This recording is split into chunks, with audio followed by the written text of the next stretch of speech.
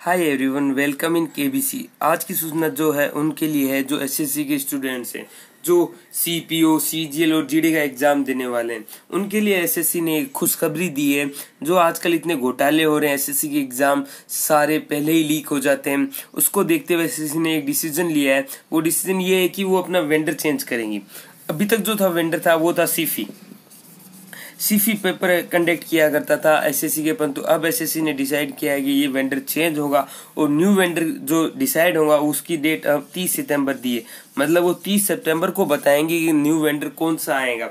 तो एक बात इससे हम अपना डिसाइड कर सकते हैं कि तीन पेपर जो होने वाले हैं, देखो पहले होने, पहले होगा सीपीओ फिर होगा सीजीएल और तीसरा होना है जीडी इन तीनों पेपरों की डेट ये तो निश्चित है कि 30 सितंबर से पहले नहीं आनी।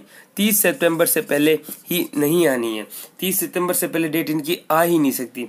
और सीपीओ को सी मैं अगर सीजीएल की बात करूँ तो पहले सीपीओ का एग्ज़ाम कंडक्ट होगा।